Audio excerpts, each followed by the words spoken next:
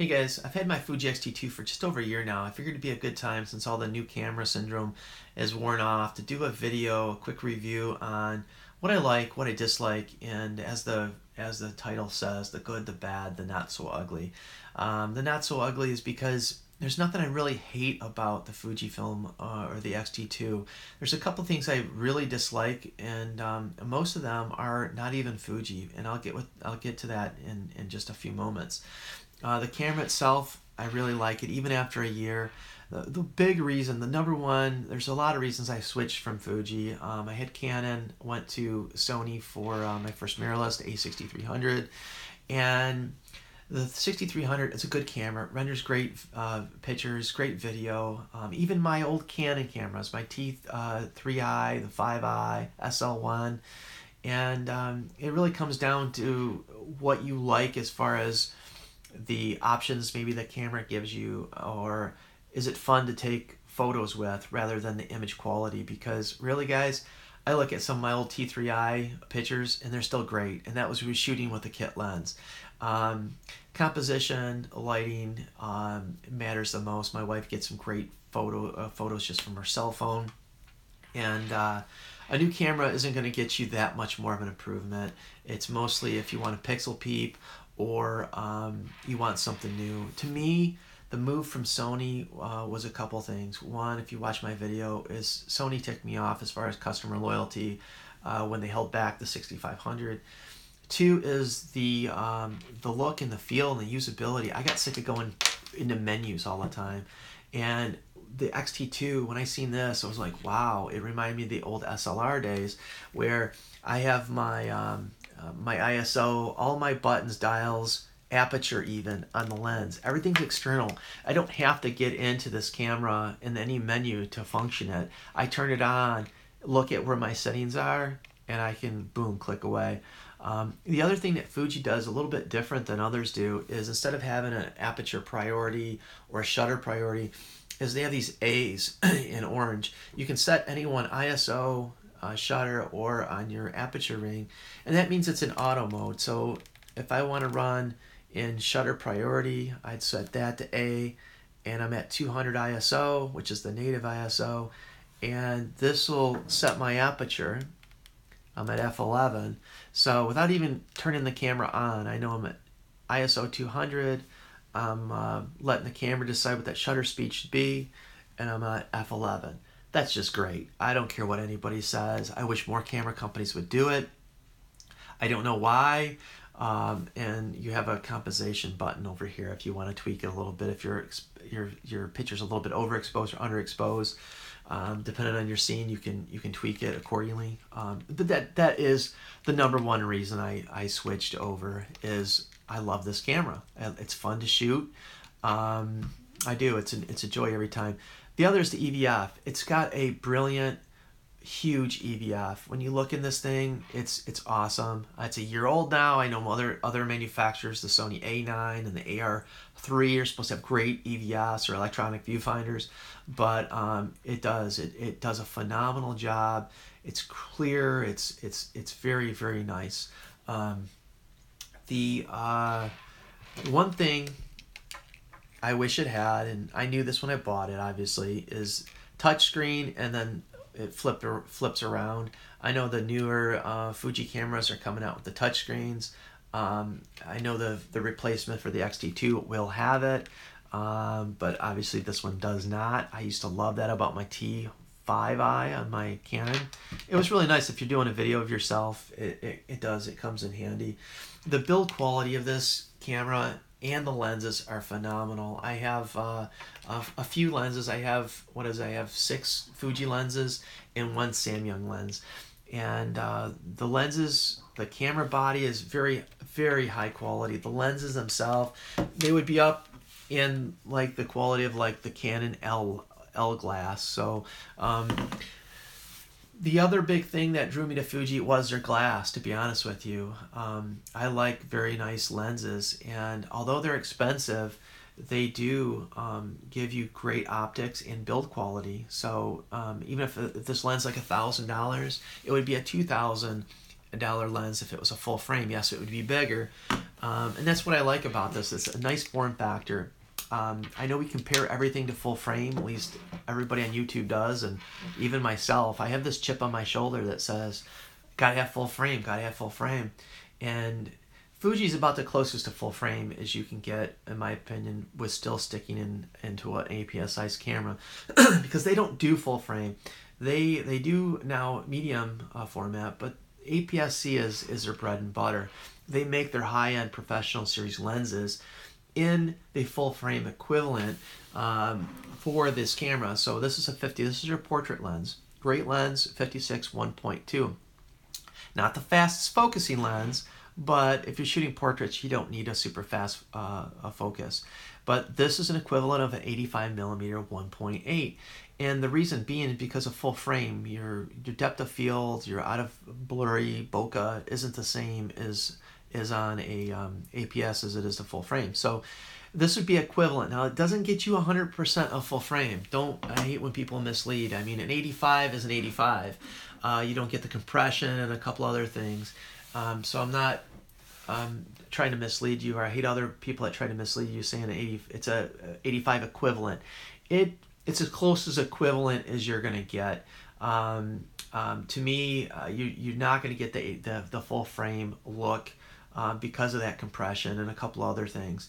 And maybe eventually I do add a full frame camera. If Canon adds a um, a full frame mirrorless, I might just get it. But until then, uh, this uh, this camera is is I love it, um, and I like it so much. If if Canon did come out with a mirrorless um, full frame camera, I'm keeping this kit, and I'm just gonna add another one as a complement. Uh, I've never done that before. I've usually sold my gear. I've had a Canon. I sold on my Canon gear. I had Sony. I sold it. And if I get another one, if it's another Sony but a full frame, uh, or a Canon full frame mirrorless, I will keep this. I, I, I, I love it. I love the system. Um, it's just great. You get a couple things. I'm not going to go in the details like a lot of these videos, but um, you get two card slots, which I, I like. Um, you can write both the same as a duplicate. You can have a, a waterfall effect, or you can do what I'm having mindset as to do is RAW in one and JPEG the other. So um, you can do that. You uh, the optical quality I mentioned it has no anti-alias filter or AA filter. Uh, again, Fuji's always wanted to get the sharpest, highest quality photos that they can give you, and uh, Canon unfortunately they've never um, they've never seen the light on that. Um, the video it's it's not as good as Sony, but it's great. It's got 4K at like 25, 24 frames per second. The 4K videos, it's good, very good, uh, great even I'd say. Not quite up to par Sony, but uh, very good. Uh, well, well within the the um, the expectations that I had for it. The autofocus, both in video and uh, stills, is great. Um, depending on the lens, obviously, um, just like any camera brand, if you have an older lens, uh, like the 56 isn't going to grab focus anywhere near as something like a 35 or some of their faster lenses. So that's that's just to be um, uh, considered. The shutter speed it does 8,000 uh, shutter speed natively. What's cool is you can get into their e shutter. E shutter gives you a couple things. You can get um, silent shooting, totally silent shooting. Um, and you can go in, say you're outside, you want to shoot that 56 at 1.2 but you're overexposed. Um, you can get into the uh, electronic. I have mine set for manual plus E, so it automatically switches to uh, mechanical to E. So if I'm at 8,000 and I'm going to go to higher than that, it's going to go into my E shutter and I can get to 32,000 by just, guys see that, 32,000. What that's going to do, it's going to bring down my ambient uh, light and allow me to shoot at a um, wider open uh, aperture. So um, really cool. A couple drawbacks to e-shutter. One is just like video, if you're doing any kind of panning when you're shooting, you can get rolling shutter, or I should say will, unless you're shooting an A9 by Sony, you will get rolling shutter. Uh, so be be careful of that. But most of us are portraits. Um, you're you're just gonna be still and it'll be fine. The other is flash photography. You can't do e-shutter with flash, flash photography, so um, make sure you're mechanical for that um, if you want your flash to trigger. uh, what else? Um, good 4K video, face tracking. The face tracking does work in 1080 video, does not work in 4K, probably because of processing speed. But that said, the tracking, the video tracking is good. Um, no problems at all with that. And um, the other big thing that was important to me is the customer loyalty and firmware upgrades. Fuji is like the best out there. They care about their customers, they listen to their customers, and they've had like two major firmware uh, releases, no no added expense to the um, to the consumer which really changed these cameras. Um, uh, features with uh, time lapsing and multiple exposures, things that other manufacturers would save for a release, like Sony. Um, and that that's one of the reasons why Sony ticked me off and I left them with the 6300. I wanted the 6500 and they held it back in their pocket, waited for us to buy the 6300s, and then released it like four months later. So I'm not going to digress with that, but again, I wanted to bring it up because that's a customer loyalty. They won't do that on, on the Fujifilm side of the house. Um, again, they give you updates. Uh, my camera was overheating in Sony. No, if it overheated in the X-T2, you know they will push up um, a firmware, not only for fixes, but to give you added functionality. Even if they come out with a newer camera, they'll give it to you on the old, which is which is awesome about Fuji. So enough of me. Um, going nuts about Fuji, Fuji, Fuji, how great it is. Um, not everything's perfect, okay, guys. Um, I'm going to give you some examples of what I didn't like. Let's let's talk about it. Um, the iFocus, it's less than stellar. It's not coming from the Sony A6300. I was spoiled. Um, it does have it in here, but it's not very usable. I don't use it often. It does work in the right conditions, but um, I wish it was better. God, I wish it was like Sony. I'd be very, very happy. Um, your app limitations. The, the Sony app was better, the Canon app was better, the Fuji app, eh, not so great. It's not crazy horrible, but I hate when you're trying to control it. You can only do 720p in video. It's very limiting. Uh, depending on what you have, my my Apple app is better. My Android was was was skeptical, depending on which Android device you had used it on. Um, it worked or it didn't work. Uh, so the app, not a huge thing, but it is kind of um, it is kind of important when you're trying to do video of yourself with it.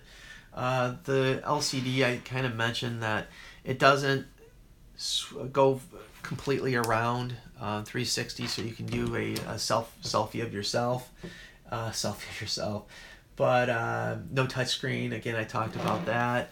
And IBIS, it doesn't have in-body stabilization. I wish it had it. Um, uh, the Sony's have it. Uh, A6500 has it. It helps if you're trying to do video, which I don't do a lot of video, but it would come in handy if you're using. Um, is it a multi-purpose, which I do use on vacation. So if I'm doing video, I'm trying to use the 1855 because it has stabilization in the lenses. Whereas if it had it in the body, I'd be able to use whatever I have on at the time.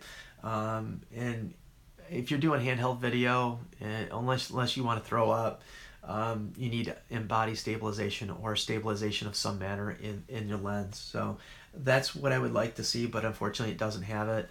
Um, and I think the newer ones will have some kind of in-body stabilization. That's just my my guess. Uh, the grip, the grip. I wish it was a little bit bigger. Um, it it does fit my hand. It's comfortable, but it would be more comfortable. I don't have huge hands. If it was extended, they do have um, extensions you can buy aftermarket, but I don't like to slap that aftermarket stuff on there. So, um, you know, I, I don't do that. The um, short video times, and I know it's probably because of the overheating, the batteries, and everything. I wish I could. Um, I didn't have a limitation on the record time without the battery grip. Yeah, some people say, well, just buy the battery grip. I'm not a battery grip fan. I've I've uh, tossed around the idea of doing it. I don't do much videos. I usually shoot video um, for YouTube on my iPhone, so I'm usually recording my camera. So I, I haven't bought it, and uh, there are a couple times I wish I had it. I, just wish they'd give us the option to uh, to do it. Um, that's just me. So, Sony does, yeah, they overheat, but I, I would like to, to squeeze a couple more minutes out of it would be nice. Um, the uh, aftermarket lenses uh, of pretty much lack of or none. I did mention I have the Samyang or the Rokinon equivalent, and they are out there. Um, a lot of manual, not a lot, but there are some manual focus lenses. You don't have like the big names like the Sigma and, and the Tamron that have really good lenses out there. Um, it's just not existent for Fuji. You you um, you're buying Fuji. If you're buying in the Fuji lineup or the Fuji system, you're buying the, for the Fuji lenses.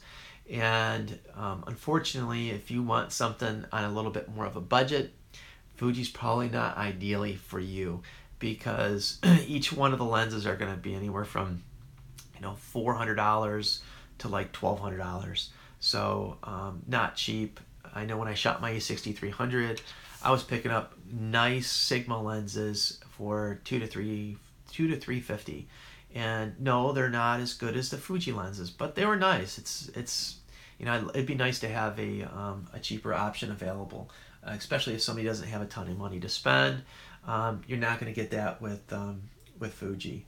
So uh, what else, guys? Um, the other thing is no 120 FPS for 1080. I wish it had it, but it doesn't. It's got, I believe, 60 is the highest, and um, and that's really it. Um, the only thing, I mean, I, I, this is a newer video. If I would have done this video uh, early on, which I may have done, is the flash. Now we're seeing more flash systems come up, come up, up on the market, and um, with the Godox systems and some others. So um, yeah, I'm pretty happy about that. Uh, let's get into the not so ugly. This is the the a few items that I hate the most about this camera. Um, one is Lightroom. Lightroom and Photoshop does not render raw video raw pictures very well. Um, the JPEGs coming out of this camera are phenomenal.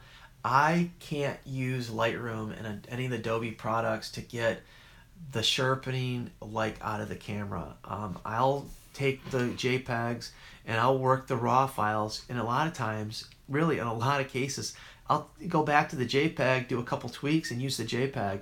Um, I wish it was different. It's not Fuji's or the X-T2's problem, but um, hello Fuji, if you gave us a Adobe plugin that whatever magic you're doing inside the camera, I don't care if I have to pay for it. I'd pay for it. I don't want to learn a whole nother pro- post processing uh, software just to buy a camera system, and I'm having to do that. Um, and I'm not a Photoshop Lightroom uh, professional, but I I know my way around it enough to work through, and I don't want to really want to learn something else.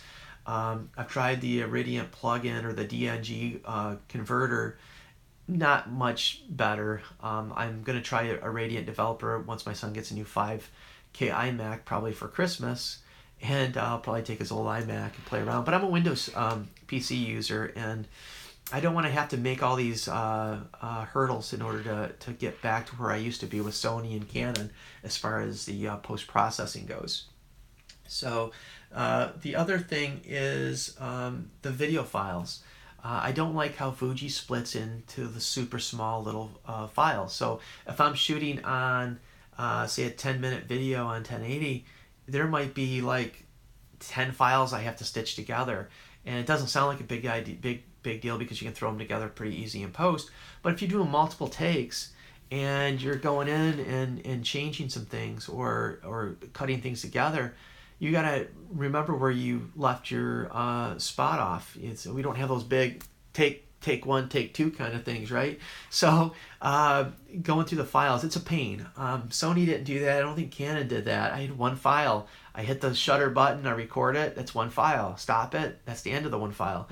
I don't like how they separate the the files. It's a pain in my uh, uh, pain in my neck. So the last thing is um, just the APS-C itself. I know I covered that a little bit. Is you know partly since I'm in this category where I like really high end lenses, uh, I'm always looking to the G Master of Sony and the L series of Canon um, because they attract me more than the camera, believe it or not, and for whatever reason, I'll see some shots on the 85, um, you know, of, of the G Master. I'm like, wow, it's pops. I know I know a lot of it has to do with their their post processing, but that full frame, the way it's rendering, it's subtle, some small changes, and um, for whatever reason, I think it's that chip on my shoulder that just keeps on telling me uh, full frame, full frame. And I may, if um, the Sony A7R's got some improvements that I've been waiting for a long time. The reason I didn't get the A7R2 um, that was a, a, few of the things that they have proved on the version three. It's one of the a few of the reasons why I went with the um, the Fuji X-T2 over the full frame. But um, I'm not selling this, guys. I'm gonna if I at least anytime soon. If I if I do go full frame, it'll be to complement this system. So if you're if you're kind of putting that money out, the reason I'm bringing it up is to be honest with you. I mean, some guys say, "Oh, you don't need it. You don't need it." I don't know if it's because of YouTube or um, you know my coworkers that shoot full frame. I always got this full frame. I'm always looking up to full frame. As much money as I have in here invested, um, I could have went full frame, uh, and I knew that when I got it, I was going to go to the A7R2. I looked at some of their lenses; they are more money. Uh, I wouldn't be able to get every focal length, but um, I would be able to get into that full frame market for this price. And uh, I just wanted to put that on your top of your mind in case you're debating on APS-C or full frame. Um, it's something to really think about. Um, and I'm fortunately luxury. I'm at the luxury of to be able to do both. I'm, I want this route, uh, and the reason I went this route is because I'll probably go both. I'll, I'll probably have an APS-C line of cameras, and a um, and a full frame, depending on what I'm shooting. I can switch back and forth. Uh, fortunately, I make enough money to, to spend and, and do both, but I, I get not everybody can do that. And I, the reason I'm bringing that up is if you really wanted to go full frame, um, you probably shouldn't be looking at the Fuji system because obviously you can't use your, your lenses on a full frame camera. So if that's important to you, or if you ever think it's going to be important to you, if you're even debating on going full frame, uh, I don't recommend it. But if you've gone the full frame and you're trying to go smaller, then uh, I don't think you can go wrong with Fujifilm camera. So if you guys have any specific questions, um, again, this video isn't to get into any little crazy details. It's just to do a high level what I thought about the system over a year later. Uh, do I still love it? Uh, what are the things I don't like about it? I think I covered that. So if you have any other questions, uh, feel free to leave them and I'll do my best to answer them. Thanks for watching, guys. Take care.